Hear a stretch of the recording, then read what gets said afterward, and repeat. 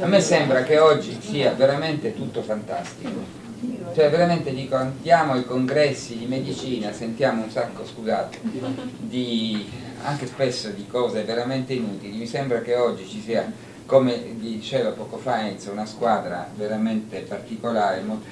Io volevo fare due o tre riflessioni prima di cominciare perché quello che ha detto all'inizio eh, Spaggiari, quello che ha detto poi via via che ci, siamo, che ci stiamo dicendo, può essere, cioè necessita a mio parere di una riflessione, tutta la medicina è basata su alcuni modelli, questi modelli sono emersi fino all'Ottocento, rimangono sempre gli stessi, sono tutti basati su una logica lineare, determinista, riduzionista, puramente biochimica. Il, la relazione iniziale è stata proprio illuminante sulle necessità, non saremmo qui altrimenti, di dare finalmente, adesso questo non significa ce l'abbiamo già, una rappresentazione eh, non solo biochimica ma anche biofisica di quello che avviene a livello fisiologico e a livello patologico perché se non riusciamo a far questo noi non riusciamo a schiodarci da alcune visioni puramente eh, lineari e deterministiche della biologia. Ora tutto questo, dice, ma che significa questo? Ha una attinenza ovviamente sulle tematiche sì, ma anche sul nostro lavoro enorme. Cioè immaginiamo quello che è successo quando, diciamo intorno agli anni 1910-1920 alcuni personaggi fondamentali come Morgan e altri hanno immaginato che colpendo letteralmente degli organismi, poco fa si parlava di campi elettromagnetici, ma con radiazioni più o meno potenti si avessero delle mutazioni del DNA che portavano a patologie. Cosa hanno fatto? Ma siamo a cent'anni fa hanno immaginato che questo significava ci sono delle molecole che portano l'informazione e se le colpiamo in modo random si hanno dei danni. Era logico, ma siamo nel 1910. Ancora una volta cosa hanno fatto i fisici, non i biologi? Hanno immaginato su questa base dei modellini di esposizione ai campi elettromagnetici e alle radiazioni ionizzanti basati ancora una volta sull'idea puramente deterministica, arriva l'energia, più è forte l'energia più c'è il rischio. Non è vero niente, non funziona così.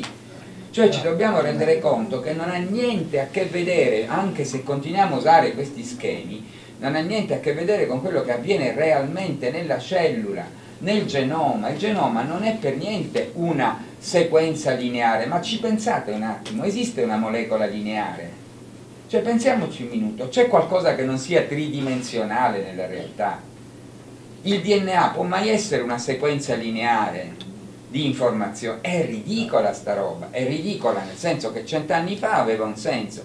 Progetto Genoma, trilioni di dollari investiti nell'idea che se noi studiamo la sequenza possiamo capire tutte le variazioni del nostro fenotipo, fisiologiche e patologiche, in particolare le patologie complesse. Ha funzionato? Non poteva funzionare. Non poteva funzionare perché l'obesità, il diabete secondo giovanile stanno dilagando nel mondo, il cancro, tutte le forme infiammatorie di cui parlava Enzo, non perché il DNA sbaglia, il DNA non sbaglia, il DNA ha 4 miliardi di anni, noi siamo sulla Terra in quanto Homo sapiens da 100.000, il DNA ha 4 miliardi di anni, in 4 miliardi di anni ha acquisito una enorme quantità di meccanismi di riparazione, un'enorme quantità di, di, meccanismi di adattamento e di capacità realmente reattivo-adattative, quindi non sbaglia. Se stanno dilagando le patologie croniche non è perché ci sono degli errori, delle mutazioni, dei polimorfismi fortunati, chiamiamoli, è tutto, scusate, è veramente tutto sbagliato, perché troppo semplicistico, troppo semplificante, nel 1910 aveva senso. Progetto Genoma, trilioni di dollari, adesso partiamo da qui, non poteva darci le risposte, perché il progetto Genoma parte proprio dall'idea di una sequenza lineare. Come dicevamo, adesso inseriamo un minimo di conoscenze sulla biologia sistemica e poi speriamo prima o poi di arrivare a una biofisica sistemica che integri la biologia sistemica. Come ce lo possiamo immaginare? In ogni cellula, immaginatelo proprio visivamente, noi abbiamo una cellula che ovviamente è già un organismo complesso, dentro la cellula membrana, citoplasma, milioni di molecole che si interpongono tra la membrana e il citoplasma e traghettano l'informazione che viene dall'esterno in varia forma, in particolare vibrazioni elettromagnetiche, e vanno a stimolare dei meccanismi complessi che vanno sul software del DNA, che si chiama epigenoma, ora vedremo che cos'è, e gli dicono quello che deve fare. Quindi primo, l'informazione viene dall'esterno, non va dal DNA all'RNA alle proteine, adesso li vedremo questi passaggi, ma lo capite cosa significa? Ci continuano a insegnare in tutte le università del mondo che l'informazione, questo si chiama dogma centrale della biologia molecolare, dogma di Crick, l'informazione va dal DNA all'RNA alle proteine e non può tornare indietro, è una stupidaggine colossale, capite? Allora, se noi abbiamo fondato una scienza intera su questo, l'informazione va dall'esterno, in particolare in forma di campi elettromagnetici, di vibrazioni varie, ma va dall'esterno anche in quanto biochimica, perché tutto quello che noi mangiamo, tutto quello che noi beviamo, arriva sul sistema in varie forme, noi lo metabolizziamo, lo trasformiamo, pacchetti vari di molecole che vanno sul sistema e gli dicono che deve fare, l'informazione viene dall'esterno, qual è il problema? Il problema è che per milioni di anni la composizione dell'atmosfera, quindi dell'aria che beviamo, dell'aria che respiriamo, dell'acqua che beviamo, degli alimenti, è rimasta più o meno stabile. Che cosa è successo in cent'anni? Che abbiamo cambiato la composizione dell'aria che respiriamo, dell'acqua che beviamo, delle catene alimentari, di tutto. Abbiamo inserito da 100 a 120 mila molecole di sintesi e a milioni di molecole che sono il prodotto di reazioni termochimiche. Cioè questo quando si si parla di ambiente, quando faceva Giorgio l'introduzione, ma l'inquinamento non è esiste una quantità di un inquinante, chissà che effetto ha, se esiste un effetto soglia che possa essere quantificata per la tossicità, non esisteva in natura tutta una serie di sostanze cui siamo esposti dalla mattina alla sera, soprattutto dall'inizio della vita, dallo zigote in poi. Benzene, benzantracene, benzopirene, interferenti endo... capite? Allora questo è il problema. I campi elettromagnetici in natura esistono sì, ma di certe frequenze ci siamo evoluti dentro, servono a creare quelli che sono ancora ipotizzati come campi morfogenetici ed è lì il punto. Cioè, ve li immaginate una molecola di DNA come ce la fanno studiare, una molecolina intesa come una sequenza lineare di basi? Non ha niente a che vedere con quello che è veramente il genoma. Il genoma è, per come ce lo possiamo ancora una volta immaginare, una doppia spirale di molecole attorno a cui ruota un'enorme quantità, milioni di altre molecole che sono gruppi metilici, gruppi acetilici, RNA minori prodotti dalla stessa molecola, enzimi, istone acetilasi, istone metiltransferasi, tutto questo corpus attorno a un campo elettromagnetico prodotto dal fatto che il DNA ruota su se stesso. Ora, quando scorre tutta questa molecola gira su se stessa, cambia continuamente come adesso vedremo, crea un campo elettromagnetico endogeno, noi abbiamo trilioni di campi elettromagnetici endogeni, arrivano i campi elettromagnetici esterni, interferiscono su sta roba, chiaro? Quindi ora c'è qualcosa di, di questo che viene studiato nelle nostre università? Assolutamente niente. C'è qualcosa di inerente al genoma che viene studiato dove però il genoma venga visto come un sistema complesso che risponde in maniera attivo-adattativa, cambiando la sua conformazione continuamente. No, perché il DNA è una sequenza lineare, capite? Allora si tratta di rifare tutto il percorso. Ora proviamo a farlo insieme. Quando si parla però di epigenetica, dimenticatevi la dire, definizione base che viene ancora letta da tutte le parti, che l'epigenetica studia le modifiche del genoma che non cambiano la sequenza del DNA, ma semplicemente l'espressione genica. È così. Ma non è vero, non è questo. L'epigenoma è un sistema incredibilmente complesso di cui il DNA è una piccolissima parte. Il DNA è il database, il DNA è quasi uguale in tutti noi, quello che veramente ci rende diversi è un software enormemente complesso che si chiama epigenoma. Capite che è il contrario di quello che continuiamo... Cosa interferisce sull'epigenoma? Tutte le frequenze varie che sono in realtà l'essenza della materia e quindi non solo campi elettromagnetici verificabili come tali, ma perfino le molecole che arrivano, e vi dico l'ultima battuta e poi cominciamo, un cagnolino sente a distanza un odore e noi no, ma non perché lui sente la molecola, è perché lui è in grado di sentire la vibrazione associata a quella molecola. Quindi perfino questo è un campo elettromagnetico, perfino l'olfatto non è la molecola che arriva sul recettore e lo colpisce, è la vibrazione, per questo lui la sente a 100 metri o a un chilometro e noi no, perché il suo rinencefalo è rimasto nei milioni di anni infinitamente più potente del nostro perché noi abbiamo potenziato altre, capite? Allora vogliamo vedere così, capisco che uno dice Madonna Santa, dobbiamo cambiare tutto, sì, dobbiamo cambiare tutto, se no non capiamo quello che sta succedendo, se no rimaniamo veramente a una medicina ancestrale, che è una medicina puramente biochimica, adesso vedremo gli effetti. Allora scusate, ma questa è un'introduzione perché dobbiamo legare tutto quello che stiamo dicendo. Allora, in pratica, questa è stata la prima diapositiva, qualcuno forse l'ha già vista, che avevo fatto vedere due anni fa al primo congresso mondiale sulle origini fetali delle malattie, Adesso, eh, fra una settimana, il 5 e il 6 a Londra, chi vuole venire è un invito, c'è il secondo congresso mondiale sulle origini fetali delle malattie. E finalmente cominciano a emergere questi fatti di cui stiamo parlando da qualche tempo, cioè che l'epigenetica non è lo studio di come il DNA si esprime, è lo studio di come il DNA si programma nella prima fase della vita e se la programmazione in epoca embriofetale viene disturbata per tutta la vita ne portiamo le conseguenze e addirittura ne portano le conseguenze i nostri figli e nipoti. Quindi è totalmente diverso e questo non perché il DNA sbaglia ma perché il software è plastico.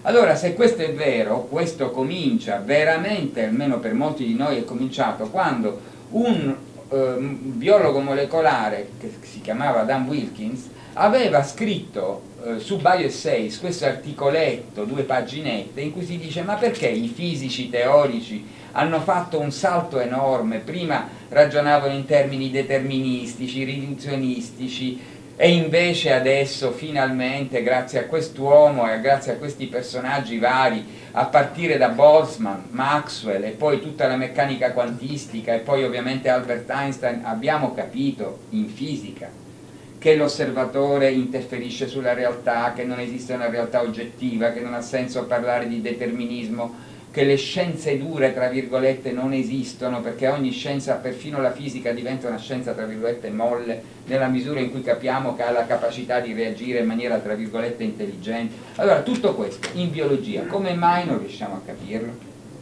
Ora, tutto questo è stato scritto nel 97.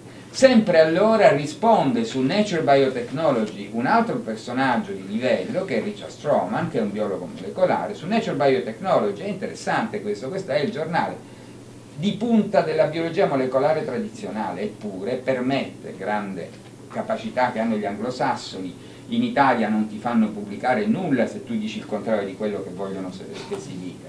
È così. Loro te lo pubblicano, questo scrive praticamente, sì è vero, stiamo sbagliando tutto perché abbiamo ancora un modellino lineare. Ancora continuiamo a pensare che il DNA decide, fa RNA messaggero, fa proteine, e l'informazione qui dice proprio, questo è il dogma di Crick, goes from DNA to RNA to proteins but never backwards. L'informazione va linearmente dal DNA all'RNA alle proteine e non torna indietro.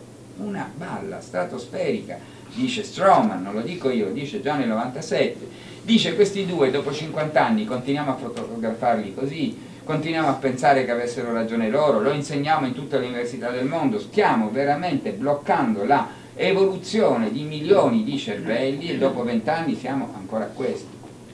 Tutto progetto genoma è cambiato, è diventato ENCODE, come forse sapete, ma ENCODE non sta studiando il genoma in maniera plastica, ma lo sta studiando in maniera diversa, come adesso vedremo si sono resi conto che il genoma solo per l'1,5% fa proteine, per il 98,5% fa altro, quindi hanno dovuto adattare il progetto Genoma, ma continuano a studiarlo in modo lineare, come se fosse lì il segreto, capite? Quindi siamo pazzi. Siamo pazzi nella misura in cui ovviamente tutto questo è deciso dove c'è il potere, cioè non diciamo da chi fa scienza, ma da chi fa business sulla scienza.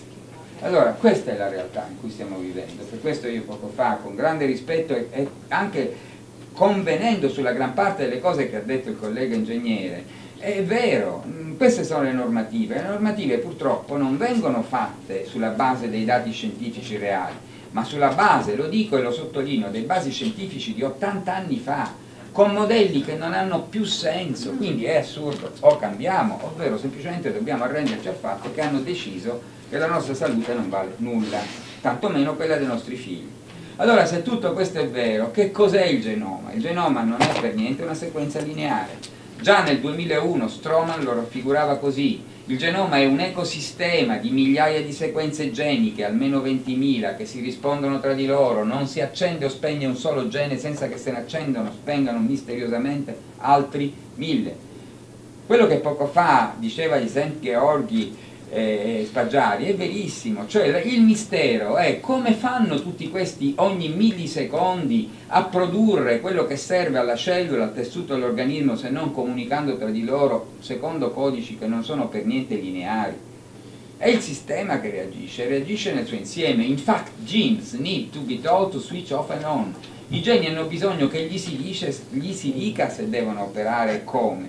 Non si accendono e spengono e decidono. Loro non decidono, loro sono lì in un sistema complesso, quello che decide casomai sono le Dynamic Epigenetic Networks 1997, che ne sapete, 2001 questo, ma insomma 20 anni, 20 anni fa quasi, noi quando abbiamo letto queste cose la prima volta abbiamo detto ma di che parla?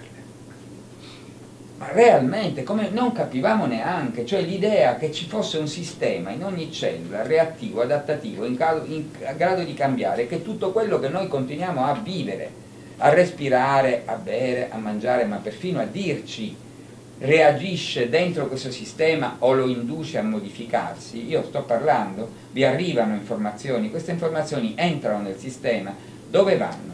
Vanno nei neuroni? Li cambiano, non è che li cambiano, però dicono qualcosa, questa energia di fatto che arriva in varia forma più o meno simbolica, chiamiamola come vogliamo, determina dei cambiamenti non della struttura del cervello, ma delle reti neuronali. E lì è veramente un fatto emblematico, perché la cosa fantastica che avviene è che le nuove informazioni interagiscono con le vecchie e durante la notte, quindi questa notte, avverrà questo mistero per cui una parte delle cose che vi dico verranno integrate accettate dal sistema e le altre verranno eliminate e si forma la, me la memoria a lungo termine. Questo avviene, ma è talmente dinamico, talmente in grado di trasformarci che vi rendete conto quanto poco conta la linetta del DNA e l'errore cioè noi non siamo per niente quella macchinetta che sbaglia, noi siamo un sistema incredibilmente complesso, l'ambiente determina tutte le trasformazioni, il genoma è in grado di fare natural genetic engineering, questo è Jim Shapiro, il sistema è tra virgolette intelligente, complesso, si è formato in miliardi di anni, finalmente per capire qualcosa dobbiamo buttare via i dogmi di cui ancora siamo permeati e da cui ancora non riusciamo a uscire, ce ne sono tre basilari, che sono quelli che insegniamo a tutti gli studenti, non solo a scuola ma nelle università e ovunque, sono il dogma di Weissman, secondo cui esiste la barriera di Weissman, secondo cui misteriosamente i gameti sarebbero preservati dall'ambiente, non ricevono, non è vero, nulla, i gameti come tutte le cellule ricevono le informazioni e cambiano il proprio epigenoma continuamente. E quello che avviene nel gamete si trasmette alla generazione successiva, per cui il tossicologo che va a studiare quello che avviene con l'esposizione di un soggetto X, che può essere un gattino, un cagnolino, un topolino, eccetera, non vede nulla di quello che realmente avviene nei, nei gameti, perché gli effetti si vedono addirittura nella generazione successiva, capite? Allora se tutto questo è vero, la barriera di Weissman va buttata via ed è urgente che la si butti via anziché insegnarla ma anche il dogma di Crick deve essere buttato via, perché l'informazione non va, come abbiamo visto, dal DNA all'RNA alle proteine, ma va dall'ambiente sul genoma e lo induce a modificarsi in modo sistemico, e adesso lo vedremo. Lo dico en passant perché qui subito avviene l'anatema maggiore, è anche il dogma di, di Darwin che va abolito, perché l'evoluzione è continua ma viene indotta dall'ambiente. E è realmente in diretta le cellule, i tessuti e perfino i gameti sono in grado di modificarsi sulla base di quello che l'ambiente dice, non è selection. Questa storia delle mutazioni stocastiche, scusate ma sta parola io la dico proprio così, stocastica, non significa niente. Cioè è una teoria che ci siano mutazioni stocastiche del DNA, arriva la selection e decide quali sono premiate. Questo è uno schema del 1859 e noi lo insegniamo come fosse la verità che viene dal Vangelo. Non avviene così. La selection agisce nei milioni di anni, ma quello che realmente avviene è che il genoma continua a cambiare non per selection. C'è un libro meraviglioso, scrivete se volete, Shapiro Evolution, è un libro meraviglioso la cui prima frase è Variation not selection is the key in evolution. Without variations the selection has nothing to act upon. È la variazione che conta, la variazione non è casuale ma è adattativa, senza le variazioni la selezione non avrebbe niente su cui operare, capite? Questo è banale Watson, no? elementare Watson, eppure non viene capito? Non si vuole capire. Perché? Perché vi faccio vedere gli effetti deleteri di questo dogma, drammatici, perché si continua a dire vecchio schemino di Luria e Delbruck, pigliate i microbi, i microbi evolvono perché di fatto noi eh, usiamo gli antibiotici e quelli per selezione naturale evolvono forme diverse, ci vorrebbero millenni per fare le resistenze. Invece, lamarchianamente, noi usiamo gli antibiotici, li usiamo male, li usiamo in zootecnia, li diffondiamo negli ecosistemi da tutte le parti, i geni hanno imparato, ma non adesso, ma da 4 miliardi di anni, a fare trasferimento genico laterale di informazione. Si passano le sequenze l'uno con l'altro e queste sequenze vengono passate dalla generazione esposta a quelle non esposte che sono le generazioni successive. Stanno dilagando le resistenze antibatteriche per, che sono geni ancestrali che si passano in questo modo, non ha niente a che vedere con Darwin, era Lamarck che aveva ragione. Ma perfino il cancro è così. Noi continuiamo a insegnare, non avremo il tempo oggi di vederlo perché sono le ultime slide e non avremo il tempo, mi soffermo su queste iniziali perché mi sembrano troppo importanti. Noi continuiamo a insegnare e a credere e a predicare e soprattutto a utilizzare il modellino di Darwin perfino per spiegare il cancro Secondo questo modellino il cancro è l'effetto di mutazioni stocastiche, ormai lo diciamo insieme questa parola, perché veramente è pazzesca, casuali, ma in realtà si dice stocastiche, che vengono selezionate perché vantaggiose per un clone cellulare. Non è vero niente. È sempre più evidente se voi prendete delle cellule in laboratorio, le esponete a radiazioni ionizzanti, campi elettromagnetici e qualsiasi tipo di sostanza proattiva sull'epigenoma, non si dovrebbero più parlare di sostanze procancerogene, perché sono tutte le molecole xenobiotiche, compreso molti farmaci, voi vedete che quelle cellule, molto prima di fare mutazioni, molto prima fanno ipometilazione della sequenza, ora vedremo cosa significa, ipermetilazione dei geni oncosoppressori, una serie di variazioni reattivo-adattative, epigenetiche, e le mutazioni vengono dopo giorni, mesi o anni. Quindi le mutazioni non sono la causa del cancro sono la conseguenza di un'instabilità epigenetica indotta da noi, che inseriamo nell'ambiente una marea di sostanze di, o di radiazioni che non c'erano. Ancora una volta, elementare Watson, dobbiamo buttare via tutti questi dogmi, dobbiamo cambiare la nostra visione. Quello che sta succedendo, questa è una sintesi, è la vecchia genetica secondo cui nel DNA c'è scritto il programma per la costruzione del nostro fenotipo, non serve più è sempre più chiaro che il genoma ha un software che è diverso in ogni cellula, questo software si forma lungo la vita, è la memoria di ogni cellula ed è la memoria di ogni esposizione. Soprattutto avviene in modo reattivo a secondo delle informazioni che le diamo, soprattutto quelle che gli arrivano nella prima fase della vita, quando il software è estremamente plastico, quindi tutta epigenetica, non genetica lineare. Questo significa fetal programming, gli organismi in via di sviluppo, soprattutto poi lo vedremo, il feto e l'embrione, ogni informazione che gli arriva gli cambia il software, nel senso che il software cambia direttamente in modo adattativo sulla base di quello che viene a ricevere. Questo significa development of plasticity, plasticità dello sviluppo, questo significa che tutto quello che sono la gran parte delle patologie che stanno dilagando nel mondo non sono incidenti biologici, neanche il cancro sono il prodotto di tentativi di adattamento di milioni di cellule a informazioni sbagliate. E se noi continuiamo a vomitare informazioni sbagliate nell'ambiente, se noi costringiamo i nostri figli e nipoti già in epoca embriofetale a ricevere benzene, benzantracene, benzopirene, pesticidi, idrocarburi poliaromatici, tutto quello che sapete, non faranno altro che difendersi costruendo epigenomi reattivo adattativi ed ecco perché dilagano le patologie croniche. Questa si chiama Developmental Origin of Health and Diseases, è una teoria che ormai c'è da dieci anni, non viene praticamente insegnata a nessuna università, neanche tantomeno la conoscono, lo dico, spero che ce ne sia qualcuno in sala perché abbiamo bisogno di questo, ginecologi, neonatologi e pediatri perché ovviamente tutto questo significa che in quel periodo della vita, che sono i primi mille giorni, si gioca tutta la vita della persona e delle successive generazioni. E vedete che cambia tutto.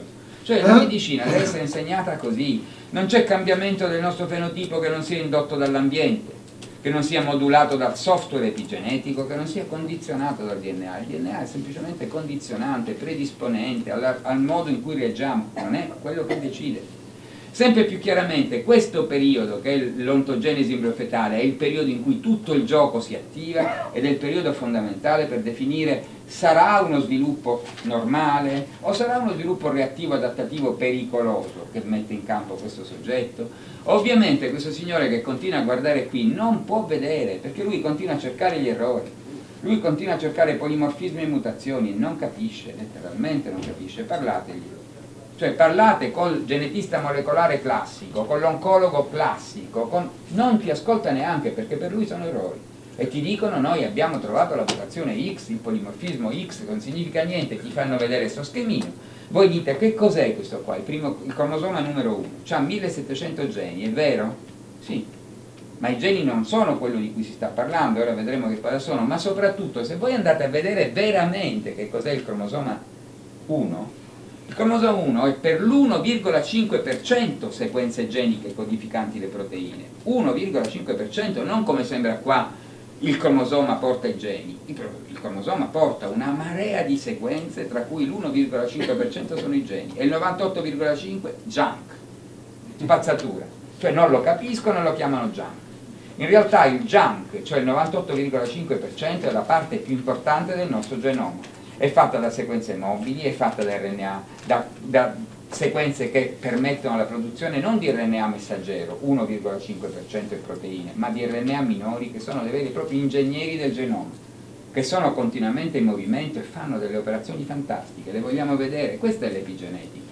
L'epigenetica non è per niente il cambio di espressione che non tocca la sequenza, è continuo, la continua modifica della sequenza non nella parte codificante, che non è quella più importante, ma nella parte non codificante, che è il 98%. È una rivoluzione, è una trasformazione completa, non è più deterministica, quando questi continuano a farvi vedere quanti sono i geni che continuano a trovare, vi stanno raccontando dell'1% della sequenza. E più studiano lì e più trovano geni associati alle patologie, loro speravano, in buona fede si spera, perché allora era buona fede, tutti ci abbiamo creduto, che noi avremmo trovato i quattro geni driver del tumore X, i tre geni driver dell'obesità, eccetera, ne troviamo 1500 associati alla schizofrenia, 1600, capite? Perché? Perché più ne cerchiamo e più ne troviamo, non significano nulla, perché non hanno la forza di determinare niente, ma insieme a centinaia lavorano in un complesso sistema, capite? Non serve a nulla questa roba, però trilioni di dollari non possono dirvi che non serve a nulla, allora vi dicono facciamo i test genetici predittivi, che non predicono, ve lo dico, scusate, no, so che c'è qualche collega che non la pensa come me, non predicono nulla, tranne qualcuno, forse il BRCA1 nel 2-3% dei tumori del seno, ma nel 97% non c'è la mutazione del BRCA1, per cui quella poveretta di Angelina Jolie è stata mastectomizzata in modo planetario per dare un bel segnale, capite? Eh, certo. Cioè sono pazzi. Allora se tutto questo è vero, polimorfismi e mutazioni non sono il cuore del discorso, il genoma in realtà, guardate qui, questo è un genoma di mammiferi, questo è un genoma di protozoi, la complessità non è legata alla dimensione della sequenza. Questi sono i genomi del riso e dell'orzo, 40-50 mila sequenze cosiddette geniche, cioè codificanti, noi ne abbiamo 20.000, poco, neanche 25, ormai sappiamo che sono 20.000, poco più del Caenorhabditis elegans, che è un verme di 0,8 micron, e noi continuiamo a studiare. Cioè, cioè, dai, viene, no, viene da ridere, ma non c'è da ridere perché sono vent'anni che noi cerchiamo di far dire, ma, ma vi rendete conto? E non ci riusciamo, perché quello che pubblichiamo noi lo leggiamo in mille quello che pubblicano loro lo leggono 100.000 e poi soprattutto è la regola per cui tutto Big Pharma costruisce farmaci intelligenti che sono demenziali. Adesso vi farò vedere una unica slide in cui si vede quanto sono efficaci i farmaci costruiti con la vecchia teoria. Cioè, ma è Nature che lo dice, eh, non lo dice Topolino. Allora, a questo punto andiamo a vedere un po' meglio, 50.000 geni c'è la piantina d'orzo, noi ne abbiamo 20.000, il Caenorhabditis elegans 19.000, la drosofila melanogaster di Morgan, da cui tutto è cominciato, ne ha 16.000, oggi si dice 15.000 e qualcosa, Il junk, eccolo qua, invece è enorme, la quantità di junk è enorme proprio nei primati e soprattutto nell'uomo, altro che junk spazzatura. La parte del genoma più importante negli organismi superiori è proprio quella che viene chiamata junk. Che cosa fa? In buona parte è formata da retrosequenze mobili, vi lascio le diapositive, non c'è problema. In buona parte queste che cosa sono? Sono il 48% del nostro genoma, sono retrosequenze che si muovono, sono retrovirus cioè noi siamo formati in buona parte del nostro DNA da sequenze molto simili a quello che sono l'HIV per intenderci, sono entrati nel nostro genoma ma non per caso, ma noi li abbiamo acquisiti e li utilizziamo per fare quello che Jim Shapiro dice Natural Genetic Engineering, ingegneria genetica naturale. Il genoma è in grado di ingegnerizzarsi da solo. Questo significa biologia sistemica o genomica sistemica. Allora, questo è il Canolabditis elegans. Quando c'era, e parliamo di 400 milioni di anni fa, questo organismo minuscolo, 0,8 micron, si costruisce a partire da questa cellula, potete seguire tutto quello che avviene dopo perché tutto è scritto nel DNA. Negli organismi così semplici, un batterio ha il 98% di sequenze codificanti proteine. Noi abbiamo il 98% di sequenze non codificanti proteine. Abbiamo fatto un piccolo errore, abbiamo puntato sul gioco sbagliato, abbiamo continuato e adesso qualcuno comincia a chiedersi, ma non adesso, già nel 2007, che cos'è un gene a questo punto? E risponde dicendo, stessa, gli stessi giornali ormai da anni, non esiste il gene, il gene è dislocato, il gene spesso ha dentro di sé altri geni, il gene codifica per una proteina, no, per 100, 1000, 2000 o meglio, potenzialmente per 1000 proteine, perché poi in realtà fa per esempio splicing alternativo, tutti questi esoni possono essere assemblati in modo diverso, non lo dice però il gene, glielo dicono, assembla questi pezzi, quindi sono moduli, il gene è fatto da moduli, viene utilizzato a secondo di quello che si decide fuori, poi fa lo shuffling, poi fa l'editing, ma guardate che bello questo, perché è stata utilizzata la teoria dell'informazione, cioè la cibernetica in pratica, nel 1944-45 hanno capito che era importante e se voi andate a vedere trascrizione,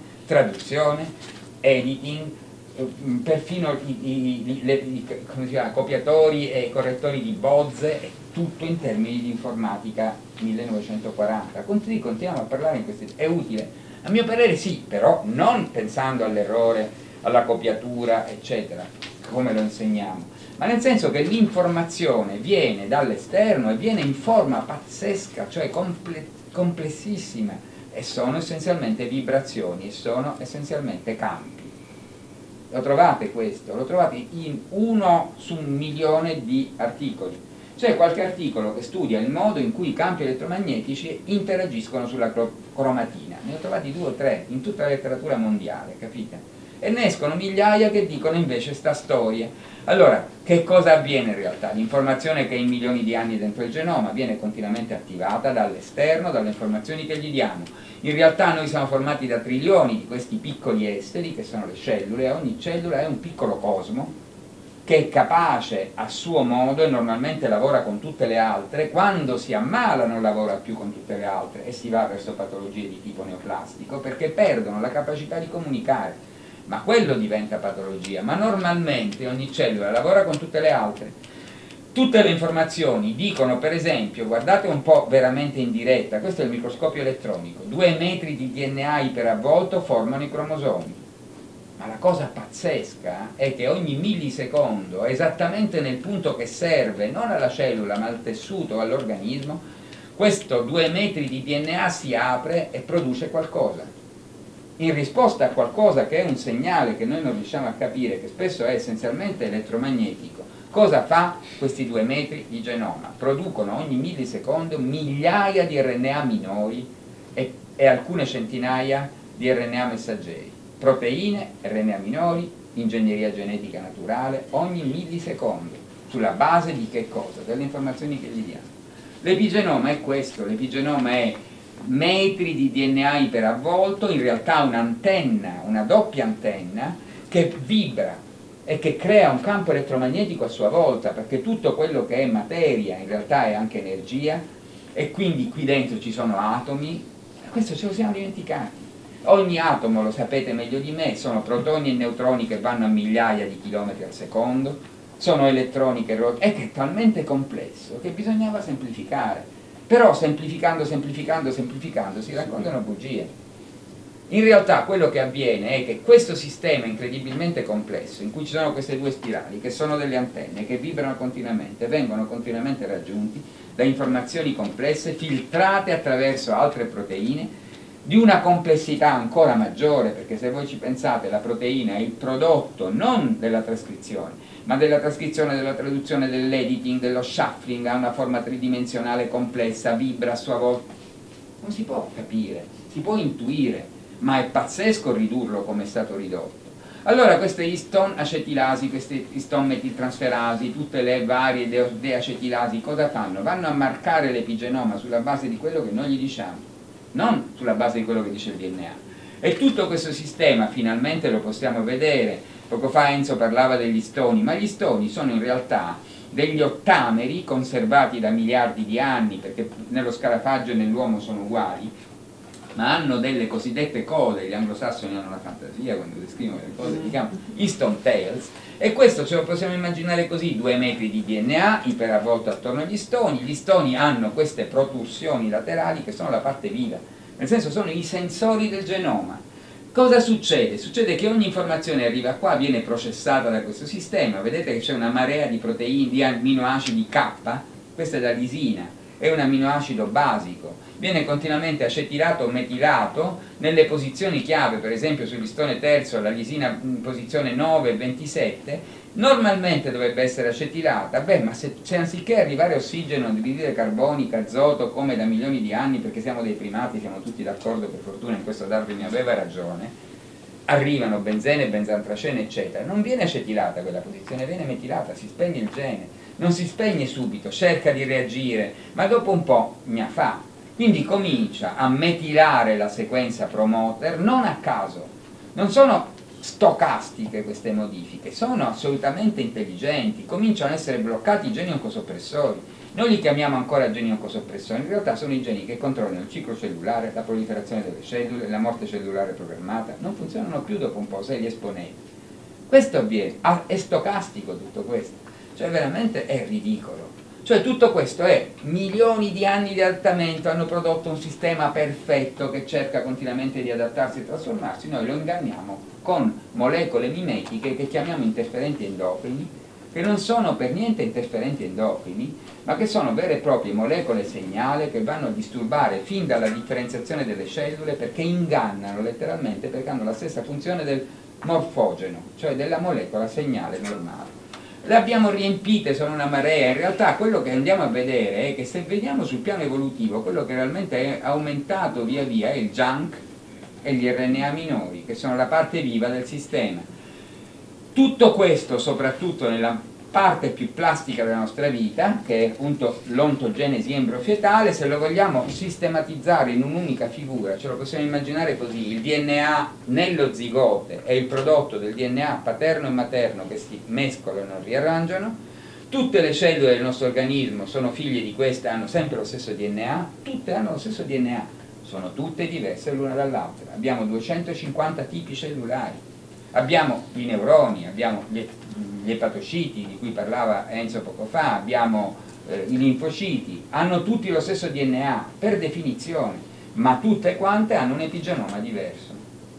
Ma questo ha un senso, è fisiologico tutto questo. Se noi andiamo a vedere che cosa sono un linfocita e un neurone, sono due animali totalmente diversi, sono due cellule che sono partite dallo stesso zigote. Che cosa è avvenuto? Che il neuroblasto e il linfoblasto hanno fatto due percorsi diversi, semplicemente.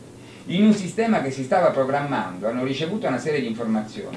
Il linfoblasto è andato nel midollo, è andato nel timo, ha ricevuto tutte le informazioni legate agli antigeni cosiddetti self e a quelli non self. Si è costruito un suo epigenoma specifico, in pratica come? Metilando i geni che non gli servono, quindi è fisiologia l'epigenetica, non è errori.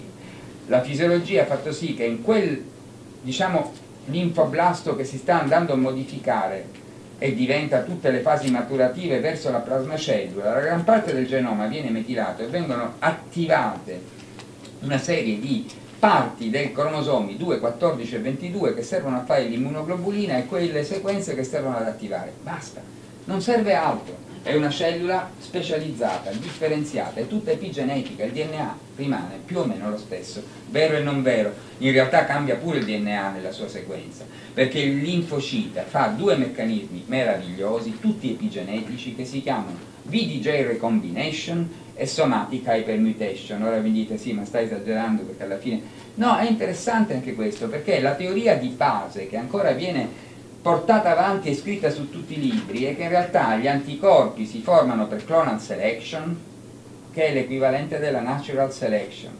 Cioè noi facciamo anticorpi, ne facciamo milioni, arriva l'antigene e sceglie quello che... Non è vero, cioè probabilmente, perché ancora non è possibile dimostrarlo, ma se è vero tutto quello che stiamo dicendo, l'antigene è in, in grado di indurre nella cellula che noi chiamiamo linfocita una serie di modifiche reattivo-adattative per cui lui si fa un anticorpo che è specifico per quell'antigene. Lo fa con dei meccanismi pazzeschi di ricombinazione interna, di ingegneria genetica naturale, che si chiamano VDJ recombination e somatic hypermutation. Non c'è scritto nel DNA. È l'antigene che induce quel sistema e il linfocita è questo, il linfoblasto diventa linfocita, B o T a seconda di dove passa, riceve informazioni diverse e diventerà poi plasmacellula e fa anticorpi, ovvero linfocita T e fa recettori specifici e ti diventa helper, citotossico e via. No?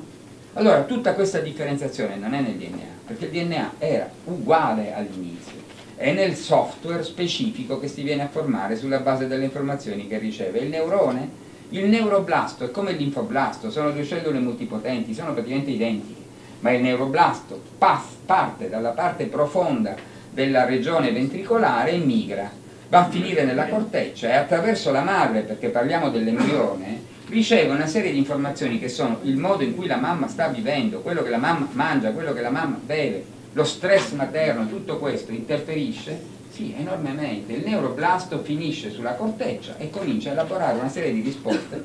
Ogni informazione che arriva, spina dendritica, dendrite, collegamento, rete neuronale, quello che ci fa diversi. Cioè quello che ci fa diversi non è il DNA?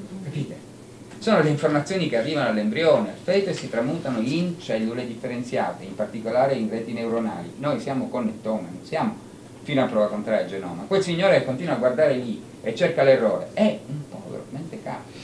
Scusate, ma io lo dico proprio in maniera chiara, non è possibile dopo vent'anni di epigenetico, di connettomica, continuare a pensare che l'errore del DNA condiziona tutta la nostra vita e fa venire le malattie. Soprattutto non cambiano le mutazioni, le mutazioni sono sempre state, sono cambiate progressivamente le capacità di reagire a un ambiente che cambia giorno per giorno, quindi è il tentativo di difendersi. Ed è tutta epigenetica, non è genetica. Se voi andate a vedere perfino le api, queste due hanno un DNA identico, ma sono totalmente diverse non solo sul piano anatomico, ma anche sul piano comportamentale. La regina e l'operaia, le operaie sono le bottinatrici, le infermiere, sono divise. Lo sapete che l'ape ha un grammo di cervello e fa delle cose pazzesche, si dividono compiti tra di loro, sono in grado di fare danze frattali.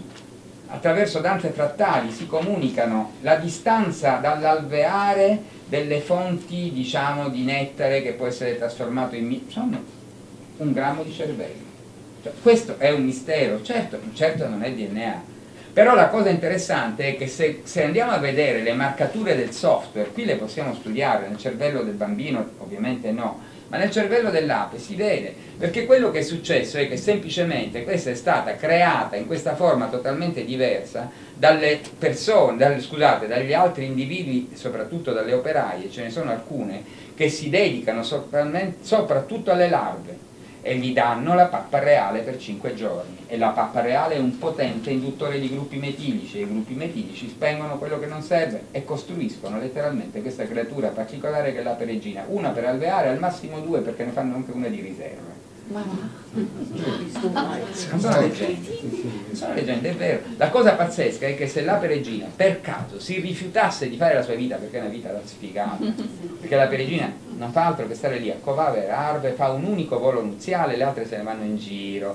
fanno la bella vita, vanno a cercare il... capite? Cioè in realtà hanno fatto la rivoluzione da dentro. La peregina è prigioniera dell'alveare, non può fare nulla perché è metilata, quindi qualora si, si ribellasse la fanno fuori e, e prendono quella trasmissione. Capite come funziona? Ed è tutta epigenetica.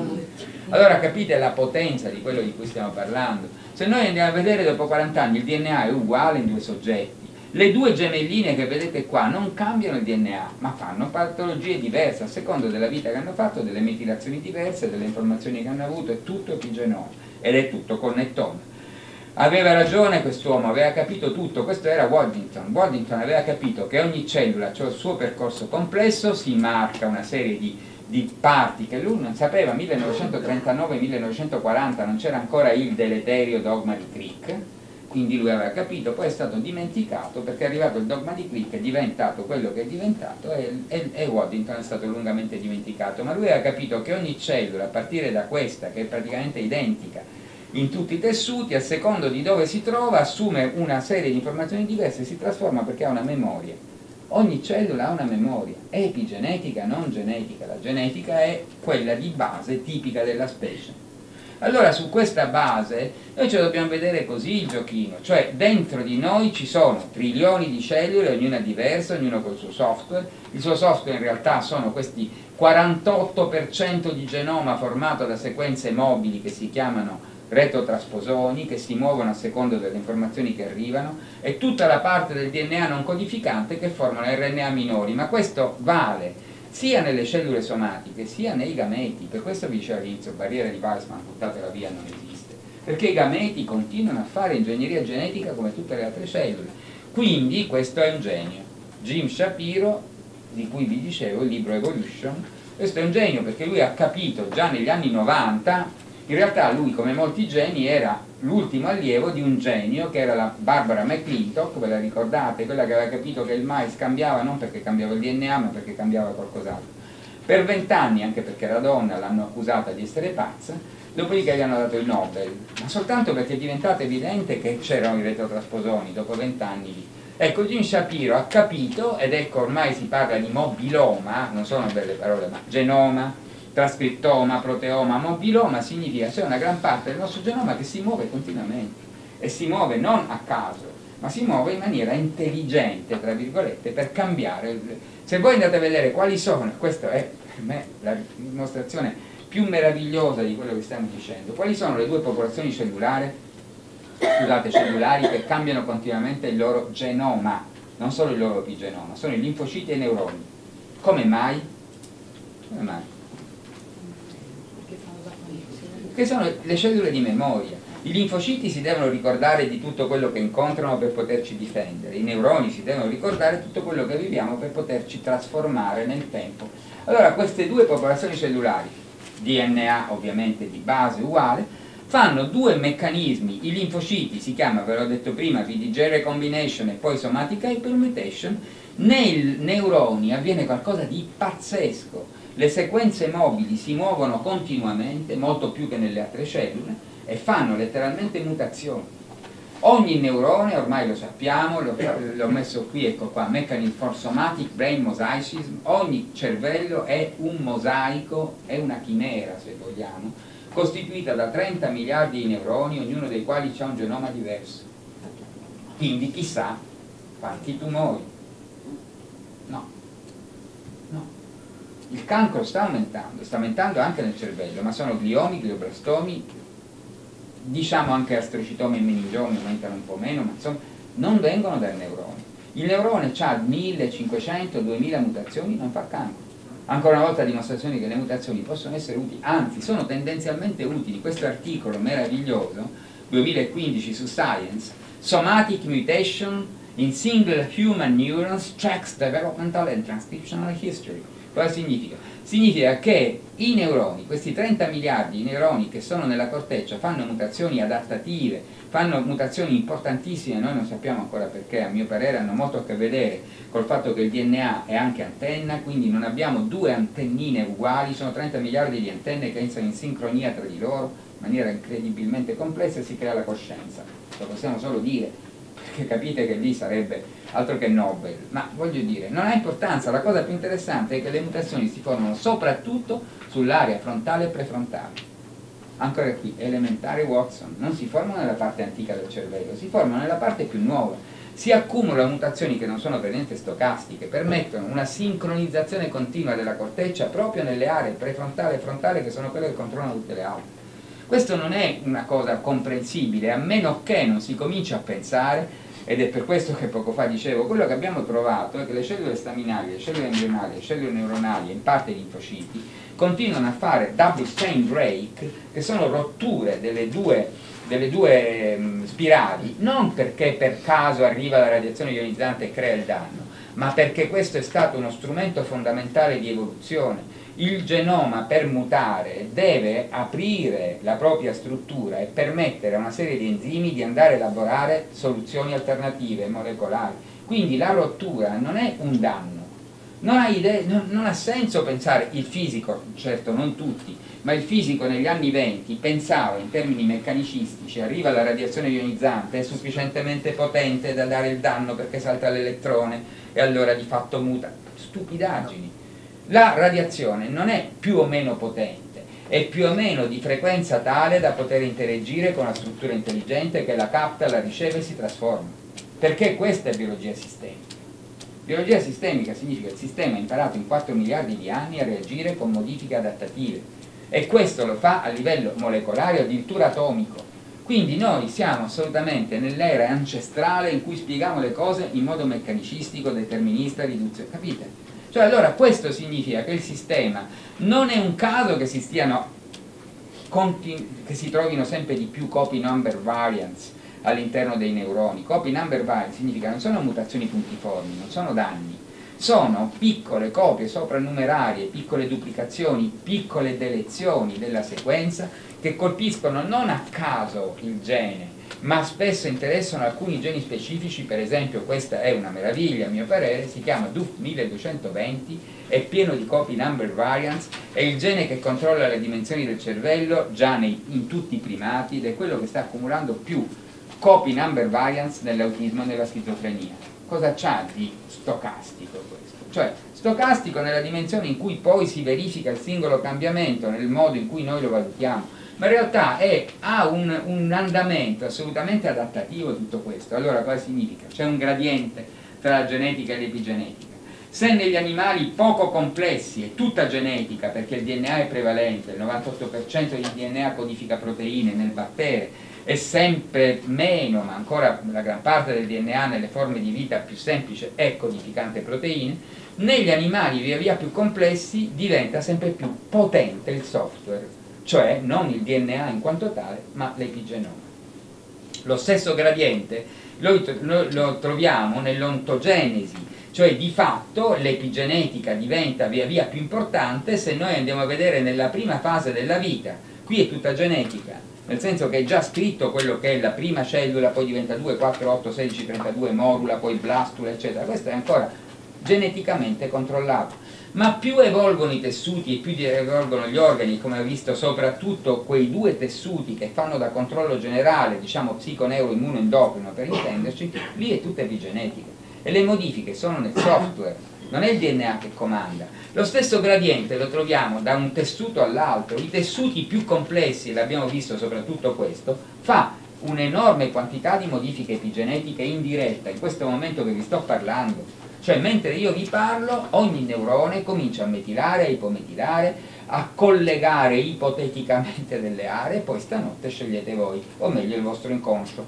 Ma cosa ha a che vedere col DNA? Questo è connettome, questo è software. Allora noi siamo essenzialmente software, noi abbiamo due grandi programmi, continuiamo a studiare quello che è ancestralmente quasi uguale in tutti noi, si chiama DNA, conta pochissimo nelle variazioni del nostro fenotipo, perché è quasi uguale in tutti noi, ma invece abbiamo un software che si forma in nove mesi dell'ontogenesi embriofetale e l'epigenoma è totalmente diverso in tutti noi.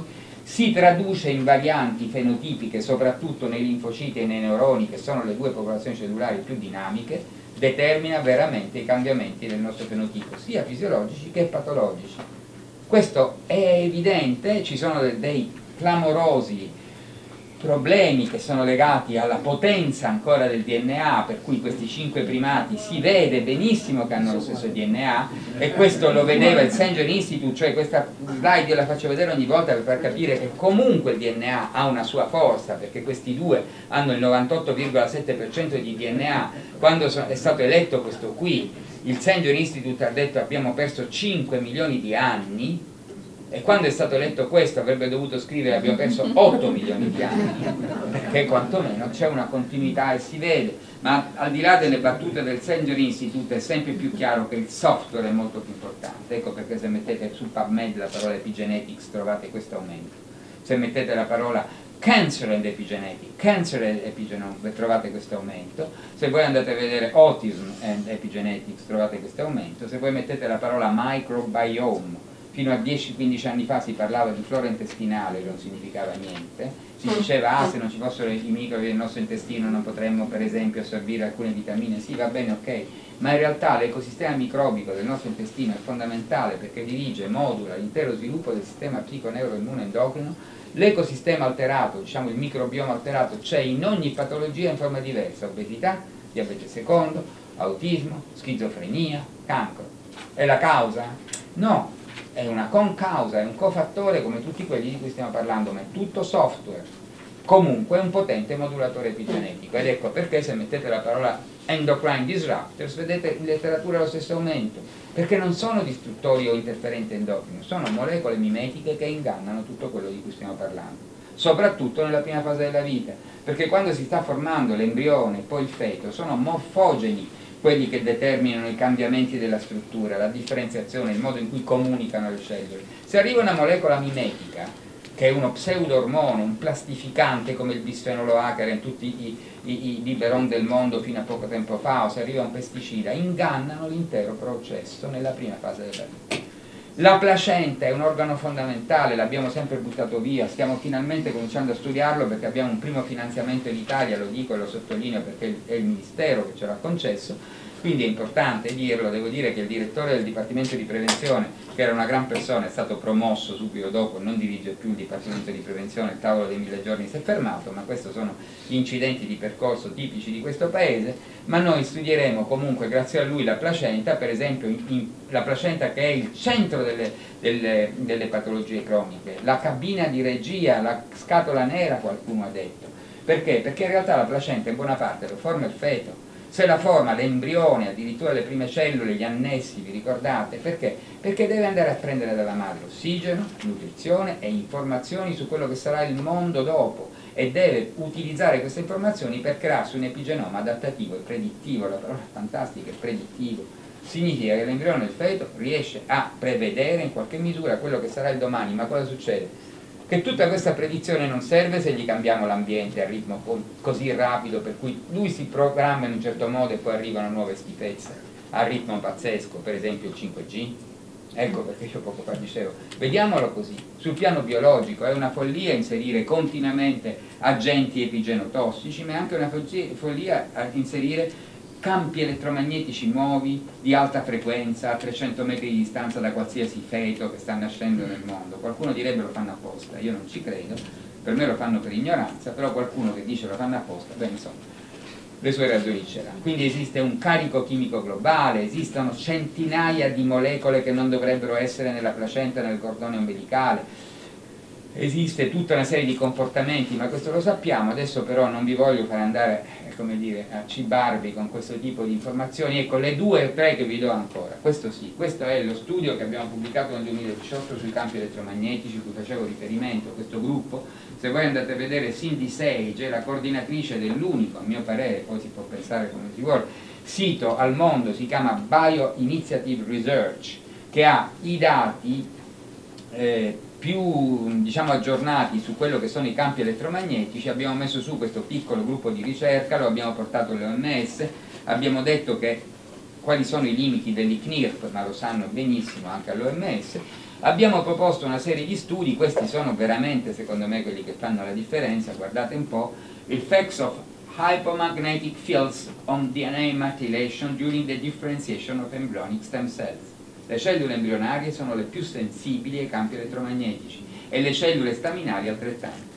Perché? Perché sono epigeneticamente plastiche, per cui più cambiano le frequenze, più vengono esposti campi, ai campi elettromagnetici le cellule staminali che devono riparare i nostri tessuti e le cellule embrionali che devono programmarsi, capite che quindi le pandemie che stanno aumentando, obesità giovanile, non è un accumulo di grassi nel tessuto mucoso, è certamente una patologia infiammatoria, ma comincia da una programmazione in utero, sta dilagando, non 5-10%, sono passati in 30 anni al 12%, no, sono passati in, in 30 anni al 36% negli Stati Uniti.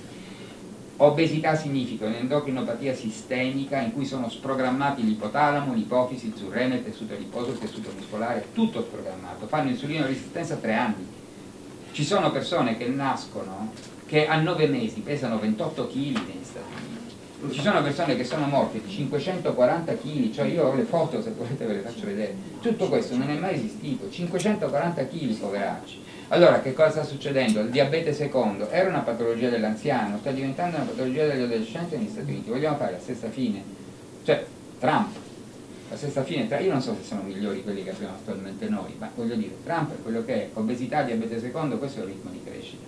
Se noi, eh, non vi posso far vedere, ma i dati reali, epidemiologici, secondo il CDC di Atlanta, parlano di un aumento di autismo da un bambino su 2000 a un bambino su 59 dal 1980 al 2018 da uno su 2000 a uno su 59 ci sarà la nostra capacità diagnostica maggiore, la maggior sensibilità per tutto quello che volete, ma quando si passa da 1 su 2000 a 1 su 50, insomma, capite che è un problema.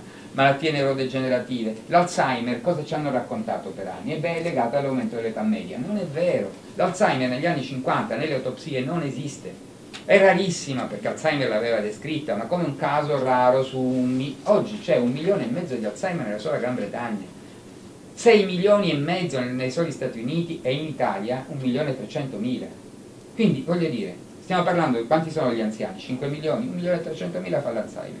Cioè, che cos'è? La genetica, il DNA? No, è assolutamente il particolato ultrafine, metalli pesanti che entrano per anni, vanno nel lobo frontale, nell'ippocampo, determinano il clivaggio alterato della proteina PP, il transfolding della beta-amiloide che precipita nei lobi frontale e ippocampo, che sono quelli più esposti.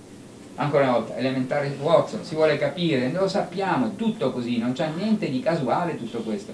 Quando noi vedevamo un bambino così, 30 anni fa, in pediatria, io ero al Maier, non l'ho mai visto a parte, in 5 anni io non ho visto un bambino obeso, oggi un bambino su 10 sono obesi, noi pensavamo dal libro Fanconi e Walgren, che era il libro di pediatria di allora, questo si chiama sindrome di Prader-Willi, per noi l'obesità era una sindrome, così abbiamo studiato, adesso un bambino su 10 in Italia e molti di più anche negli Stati Uniti. Quindi stanno aumentando tutte queste patologie, adesso tutta questa parte, scusate, non ho il tempo di farvela, facciamo un'altra volta, no, vi faccio vedere un'unica diapositiva. Del resto questo ce le siamo un pochino già dette queste cose. Vi faccio vedere un'unica, spero di averla perché certo tutto questo per non farvela vedere sarebbe drammatico faccio vedere quest'ultima diapositiva e infatti non ce l'ho ve la faccio vedere però perché ce l'ho su un'altra, un'altra serie perché questa per concludere in maniera come dire testimoniale quasi su Nature è venuto fuori un articolo mi pare 2015 che dimostra l'efficacia dei farmaci più venduti al mondo. I 10 farmaci più venduti al mondo sono efficaci nell'8-10% dei casi. Cioè la potenza di questo sistema è di costringerci in qualche modo a usare farmaci che nel 90% dei casi non funzionano. E lo dice Nature.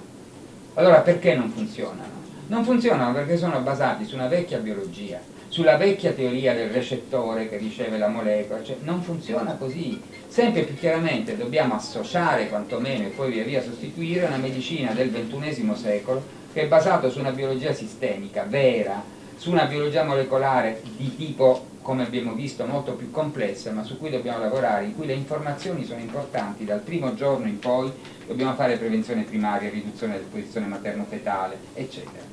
Lo faremo? Ma io lo spero, siamo qui per questo. Ora, scusate, questa lunga cavalcata, vi faccio vedere questa diapositiva, nel frattempo la trovo e ve la faccio vedere. Bene, grazie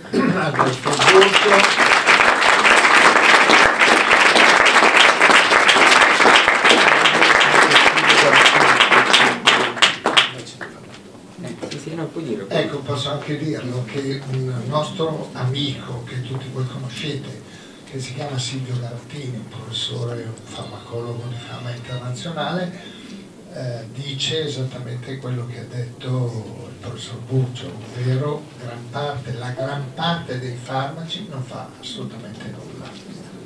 Ecco, parlate pure che io, io cerco la slide perché allora, parliamo... allora, appena fatto vedere, dopo che ha fatto vedere la diapositiva, noi poi eh, siete invitati a pranzo da, da Arnica, quindi andiamo giù secondo piano. No, no, eh, No. un errore, siamo qua davanti. Ah, allora, Ah, ancora meglio. Meglio. Comodi, Allora possiamo recuperare i tempi. ok, quindi così recuperiamo e- il tempo nel pomeriggio, Ecco. se siete d'accordo in 40-45 minuti mangiamo. Così poi magari ci Eh? vedremo anche prima per lasciarvi fare le vostre Così famiglie. poi finiamo prima possibile. Eh, adesso vediamo questa diapositiva. Tanto siamo qua di fronte. Che meraviglia. Eccola qua. Temevo di non averla, no? ve la devo far vedere perché ecco, è importante, scusate, è importante perché come vedete è Nature che lo dice. Quelli in rosso non sono i farmaci, sono i 10 farmaci più utilizzati al mondo. Quelli in rosso sono quando non servono, quando non funzionano. Significa che danno essenzialmente effetti collaterali e lo dice Nature. Ora tutto questo, se lo sapessero tutti, se lo sapessero anche i nostri colleghi, forse un po' di problemi, una medicina troppo controllata da una ricerca troppo controllata, Lancet, Horton, direttore di Lancet, dice l'80% dei nostri articoli sono ovviamente finanziati dalla grande industria e il 50% sono junk, lo dice Horton. Quindi, Scusi, parla di integratori o di medicine? questi sono i 10 farmaci più venduti del mondo. Farmaci. No, no, io adesso sto, sto facendo un discorso soltanto per dire quello che è una farmacologia ancora basata sul vecchio modello riduzionista e determinista non funziona, questi sono farmaci, sono i 10 più venduti del mondo, questa è la loro efficacia, quindi è sempre più chiaro che dobbiamo trovare qualcosa di più che complementare, insomma, direi quasi sostitutivo. Grazie, buon appetito. Grazie.